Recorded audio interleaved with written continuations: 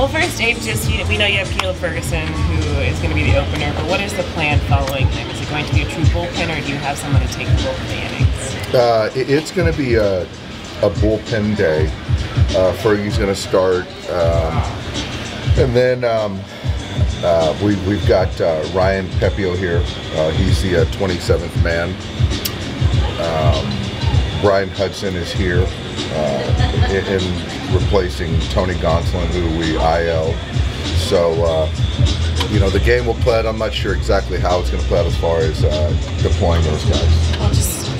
Quickly focusing on Tony. When we spoke to him last night, he did say that it's something dealing or surrounding his elbow. Uh, have you received any? Have you learned any more information in the last, I guess, 12 hours per se, or is there anything you can kind of just add as to what he is dealing with right now? Um, yeah, you know, it, it's uh, obviously, uh, as I said, we're going to IL him. It's something that he's been dealing with for quite some time. Um, he's going to get a scan sometime this week. Um, you know, I think for me is I'm really impressed that uh, you know he continued to go, wanted to take the baseball. Uh, it, it was symptomatic, you know. So I think that all pitchers have something going on with their arms, their elbows, uh, you know, with the mileage. Um, but we are all aligned, in, as far as you know, it made sense for us to continue to uh, give him the baseball. And um, but right now, we just feel where we're at. Um, the IL is the best course of action, and beyond that, I think that scan, once he gets the scan, will, will be more telling. How do you anticipate filling his spot in the rotation? Is Pepiot a candidate for that? Uh, Ryan is a candidate. Um, so obviously, uh, he is a candidate. Uh, we'll see how today goes, but you know, with Ryan, um, you know, depending on what we want to do with Yarbrough, um, obviously Gavin Stone's in the mix. So yeah, we'll see. Dave, do you believe Tony felt compelled to keep going out there considering where you guys were with the number of injuries to your staff and how much do you appreciate that? A, a lot. Um, I, I think that um, where we were at at that point in time, and it's been you know six weeks, something like that, where he hasn't felt great. Um, and so I do commend him uh, wholeheartedly. I, I think he's continued to gain the respect of the guys in the clubhouse and um, never made an excuse. Um, but this is something that it's still symptomatic. I mean, was it pain free? Probably not. But I know as an organization, we were very clear in saying and knowing that you're not going to hurt yourself worse, and um, we're not going to try to do that to the players. So we're all aligned and felt good about that. So, but I do commend Tony. Yes, Dave, do you envision this being more than two weeks for him? I do.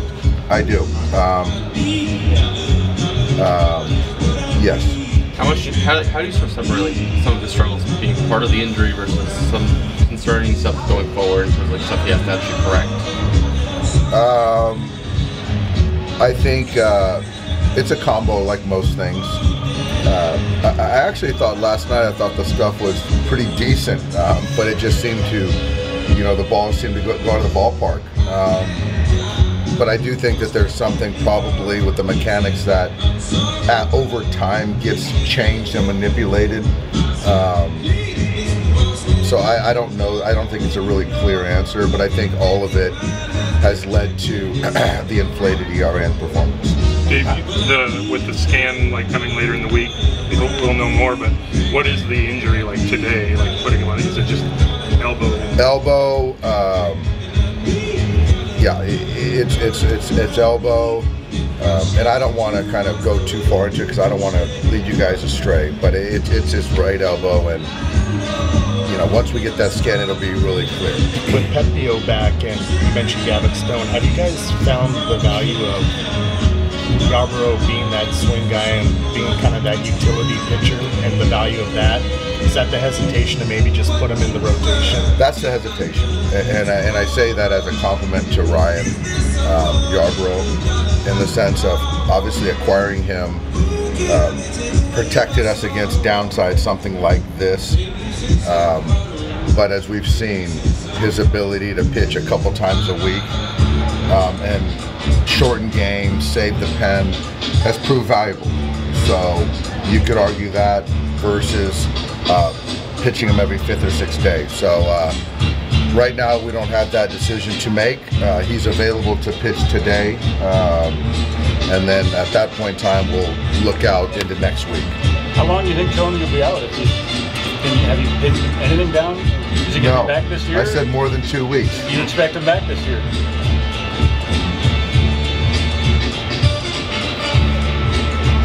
It's unlikely.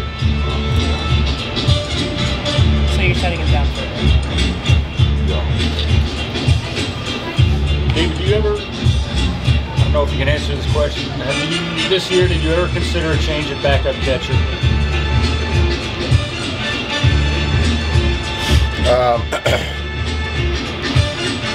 Um, it's not. Uh, first of all, it's not my call. Um, I think as an organization, um, you know, you're always trying to, you know, improve your ball club. I, I- do believe, though, that uh, with Austin, um, what he's done for the organization, the success that uh, he's had, um, you know, on both sides of the baseball, the impact with the pitching staff. Um, I think it's more than just a triple slash. Um, and uh, it's been a trying year, as he as he said. But I think for us, we're very bullish on betting on uh, the person, uh, the player, the track record, and so to say that the organization didn't think that you know you could potentially upgrade in, in all positions, and this is specific to the catcher position. Um, I think that that would be um, we the organization wouldn't be doing their their jobs if they're not always trying to upgrade in whatever position. Um, but at the end of the day, um, you know, we just believe in what Austin has done and can do for our ball club and our organization. Given the situation with Tony and what he did last year, how disappointing is it for both Tony and for you guys that he wasn't able to build on that? Um, very disappointing. Uh, you know, coming off an all-star season, uh, you have certain expectations uh, from the organization, from the player, um, and for not for it not to you know play out as such, it's it's disappointing. Um, but some things are out of your control. Uh, in this case, it's a, it's an injury.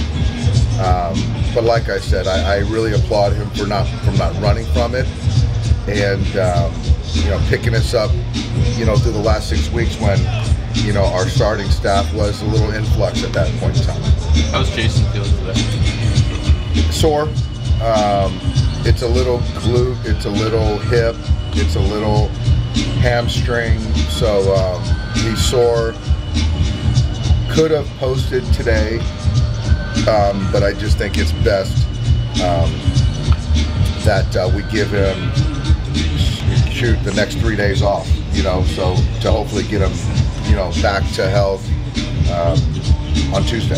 Since we were talking about starting depth, uh, Mike Grove eligible to come off the IL the next couple days. How's what's he even doing right now? Uh, honestly, I- I'm not sure where he's at um, in his uh, progression. I don't know. Did Joe start his bullpen? Oh, do you have your rotation mapped out for Cleveland? Um, yeah, Bobby's pitching on Tuesday. Uh, Slate's going to go Wednesday, and uh, Thursday is TBD. Switching uh, gears for a second, um, your thoughts on LeBron James and what are you most impressed about him and what he's been able to do at the stage of his career? Um, God, there's just I think it, it's a long uh, answer. Um, you know, as far as what LeBron's done at his age um, for the city, uh, for the sport, and for sports in general. Um, I, it's just a credit to how he takes care of himself. I mean, I think that uh, he's a unicorn. Uh, I think physically, genetically, and also just the mindset, mentality, and so. Uh, there's only those guys don't come around very often, you know, once a generation. So uh, it, it's uh, I marvel at it. I, I think that you know I'm around great athletes you know, every day. But to play at the level uh, that he has for two decades, uh, it's just uh, it's really unprecedented. Do you have a favorite memory either of being there at a game watching him or uh, watching some on You know, I had a chance to meet him when uh, when he was in Cleveland, and uh, we had a we had a, a little chat.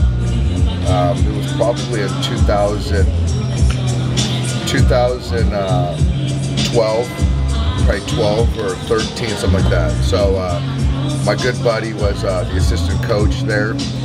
So just seeing how physical he was, I just I didn't appreciate how big and strong he was at that time, and then uh, to see him shoot a set shot from half court essentially and watch him get above the rim, is pretty pretty amazing. Yeah, Think you can tee him up?